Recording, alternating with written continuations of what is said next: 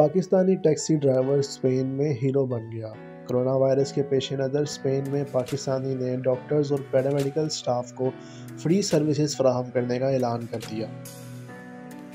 Corona virus के पेश नज़र स्पेन में पाकिस्तानी टैक्सी सेक्टर ने डॉक्टर्स और पैरामेडिकल स्टाफ को फ्री सर्विसेज़ फ्राहम करने का ऐलान कर दिया है।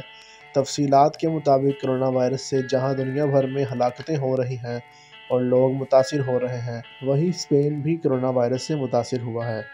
इटली के बाद स्पेन ने भी मुल्क की सतह पर लोगों को घरों पर रहने की ताकीद करते हुए सफरी पाबंदियाँ आयद कर दी हैं।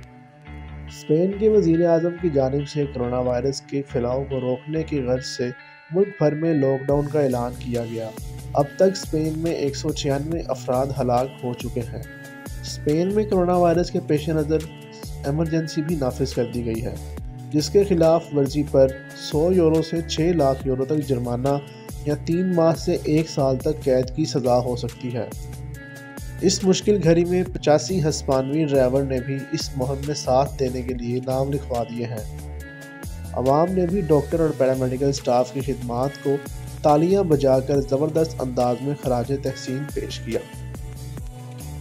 अगर आपको हमारी आज की वीडियो अच्छी लगी तो वीडियो को लाइक करें, चैनल को सब्सक्राइब करें और शेयर ज़रूर करें।